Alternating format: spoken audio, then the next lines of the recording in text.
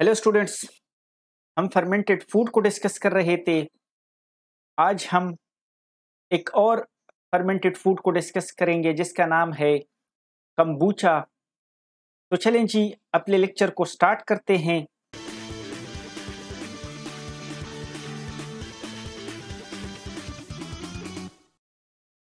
Okay ये जो kombucha है, ये बेसिकली क्या है? फर्मेंटेड टी है, जिस तरह आप लोगों को इस जार में नज़र आ रहा है।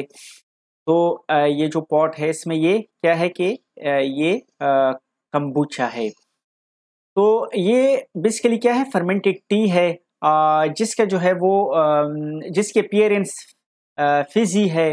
फिजी मीन्स फॉमी जिस पे जाग वगैरह बनता है।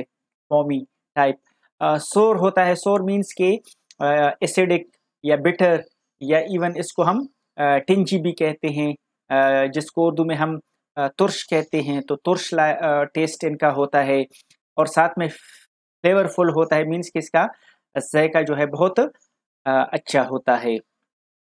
ओके बेसिकली ये मेड हम जो बनाते हैं इसको it is made from green or black tea जो लीव्स हैं, उससे हम इसको बनाते हैं।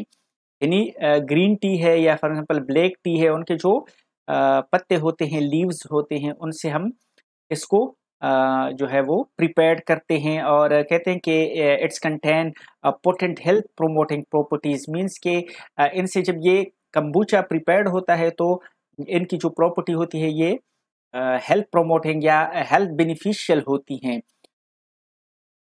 इसको जब हम प्रिपेयर करते हैं तो जो टी लीव्स हैं इनको हम स्टीप करते हैं। स्टीपिंग कहते हैं कि जब हम इसको फॉर एग्ज़ाम्पल सॉक करते हैं। Steeping mean soaking. तो इसको सॉक करते हैं हॉट शुगर वाटर में।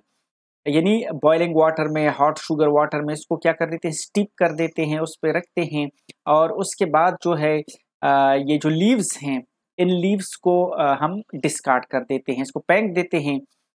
उसके बाद जब इसका टेम्परेचर डाउन हो जाता है तो उसके बाद टेम्परेचर कूल डाउन हो जाता है तो हम स्कूबी कल्चर को ऐड कर देते हैं इसमें। और ये जो स्कूबी कल्चर है बेसिकली इसमें क्या होता है कि ये जो सेम्बियोटिक बैक्टीरिया या यीस्ट हैं, उनका बायोफिल्म होता है ना? यानी कम्बिनेशन में होते हैं। बायो बायोफिल्म मीन्स कि जब वो कंबाइन होते हैं, उन्होंने कम्बिनेशन से एक फ़िल्म वगैरह की प्रिपरेशन करते हैं तो इसको बायोफिल्म कहते हैं। तो ये जो है फिर हम क्या करते हैं कि इस बायोफिल्म को या स्कूबी कल्चर को इसमें ऐड कर देते हैं। अच्छा इसके बाद जो है फिर कुछ एनिमल स्टडीज़ हुई हैं जिसमें उन्होंने देखा है कि फॉर जब कम्बूचा जो है वो पीते हैं, drinking kombucha could prevent liver toxicity या डैमेज। तो इससे लिवर टॉक्सिसिटी या डैमेज जो है वो काफ़ी हद तक रिड्यूस हो जाता है। एग्ज़ाम्पल अगर लीवर जो है मोस्टली लीवर का फ़ंक्शन ही बॉडी में ये होता है कि ये जो टॉक्सिक सब्सटेंसेस होती हैं, उसको ये फ़िल्टर आउट करता है ब्लड से। तो ये कम्बूचा पीने से ये जो टॉक्सिक केमिकल्स वगैरह हैं, अगर कोई बॉडी उनको एक्सपोज होती है तो वो क्या होते हैं, फिर वो जो है, वो लीवर टॉक्सिसिटी उससे ये प्रिवेंट करते हैं कम्बूचा की यूज़ से। इसके अलावा इन्वेट्रो स्टडीज़ जो हैं उनसे फर्दर भी ये वाज है कि जो कम्बूचा है, ये जो कैंसर सेल्स हैं, उनकी डेथ में इन्वॉल्व होते हैं। ये फॉर अगर बॉडी सेल्स जो हैं, बॉडी में कैंसर मौजूद है तो जो कैंसेरियस सेल्स होती हैं, कम्बूचा पीने से कैंसेरियस सेल्स जो हैं, वो उनकी डेथ होती है। और साथ में जो है block the spread of cancer cells. तो कैंसर सेल्स की स्प्रेडिंग जो होती है बॉडी में वो भी ब्लॉक हो जाती है। फॉर एग्ज़ाम्पल अगर मेलेग्नेंट कैंसर्स हैं तो वो फिर स्प्रेड होना उनका स्टॉप हो जाता है। और इसके अलावा जो है, कुछ एनिमल स्टडीज़ में ये भी देखा गया है कि जो कम्बूचा है ये अगर फॉर एग्ज़ाम्पल हम यूज़ करते हैं तो इससे ये होता है कि ब्लड ग्लूकोज जो ब्लड शुगर लेवल है, वो रिड्यूस हो जाता है। यानी इसका मतलब ये है कि अगर ब्लड ग्लूकोज लेवल राइज हो जाता है तो कम्बूचा की यूज़ से ब्लड ग्लूकोज लेवल रिड्यूस हो जाता है। यानी ब्लड में शुगर लेवल भी आ, कम हो जाता है ट्राइग्लिसराइड्स कम हो जाते हैं और साथ में जो है ये जो एलडीएल है लो डेंसिटी लिपोप्रोटीन जो है या बेड कोलेस्ट्रोल है इसका लेवल भी रिड्यूस हो जाता है। यानी इस लिहाज से जो है कम्बूचा का यूज़ भी जो है हमारे लिए बहुत ही बेनिफिशियल है। ओके जो नेक्स्ट फिफ्थ नंबर पे जो फर्मेंटेड फ़ूड है उसको केमची कहते हैं। केमची बेसिकली ये पॉपुलर कोरियन साइड डिश है, यानी कोरियन फ़ूड है। मोस्टली कोरिया में बहुत यूज़ होता है। तो ये बेसिकली इनकी जो फॉर्मेशन है, ये फर्मेंटेड कैबेज से बनता है। यानी ये जो है इनकी जो फॉर्मेशन है वो फर्मेंटेड कैबेज से। जिस तरह सौरक्राट है ये भी सौरक्राट जो है वो भी फर्मेंटेड कैबेज है और जो केमची है ये भी फर्मेंटेड कैबेज से ही बनते हैं, लेकिन कुछ डिफरेंसेस होती हैं उसमें फर्दर जो कंपोजिशन है वो आगे हम उसको डिस्कस करते हैं।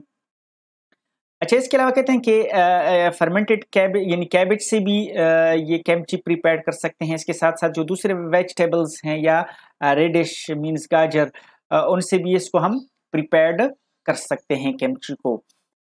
अच्छा जो केमची है, इनका जो टेस्ट है क्रंची पंजेंट यानी शार्प टाइप होता है पिकल्स लाइक जिस तरह एसिडिक पिकल लाइक होता है, इसका भी एसिडिक होते हैं साल्टियर देन सॉरक्रॉट सॉरक्रॉट से ये साल्टी होता है मीन्स के साल्ट कंटेंट इसमें सॉरक्रॉट की बनस्बत ज़्यादा होता है। इसके अलावा दूसरे जो स्पाइसी टाइप होता है जो मसाला वगैरह होते हैं स्पाइसेस जो हैं वो इसमें हम ऐड करते हैं एज़ कंपेयर टू सॉरक्रॉट अच्छा इसके जो आ, आ, जो हेल्थ बेनिफिट्स हैं कहते हैं कि एक्सटेंसिव ऑफ़ हेल्थ बेनिफिट्स इनके हेल्थ बेनिफिट्स बहुत ज़्यादा हैं जिसमें ये इफ़ेक्टिव है जिसमें ये lower lowering cholesterol cholesterol lower level जो है बॉडी में कोलेस्ट्रोल लेवल को रिड्यूस करता है। साथ में जो है इंसुलिन रेजिस्टेंस को भी ख़त्म करता है। अब इंसुलिन रेजिस्टेंस क्या होता है? इसको हम जानते हैं। बेसिकली इंसुलिन जो है ये एक हार्मोन है जो रिस्पॉन्सिबल होता है जो ब्लड में जो ग्लूकोज है ब्लड ग्लूकोज लेवल को रिड्यूस करता है और जो ब्लड में ग्लूकोज है उसको टिश्यूज की तरफ़ ट्रांसपोर्ट करता है।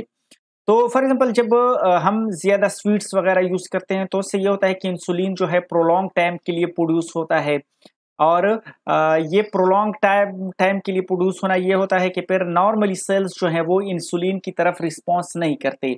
इसमें ये भी होता है कि फॉर एग्ज़ाम्पल जो फिटी मटेरियल है वो जाके इंसुलिन के रिसेप्टर्स पे अटैच हो जाते हैं, फिर आगे इंसुलिन अपने रिसेप्टर्स पे अटैच नहीं हो सकता सेल रिसेप्टर्स पे। तो इस वजह से फिर वो ब्लड ग्लूकोज को ट्रांसपोर्ट करने में नाकाम हो जाता है या फेल हो जाता है।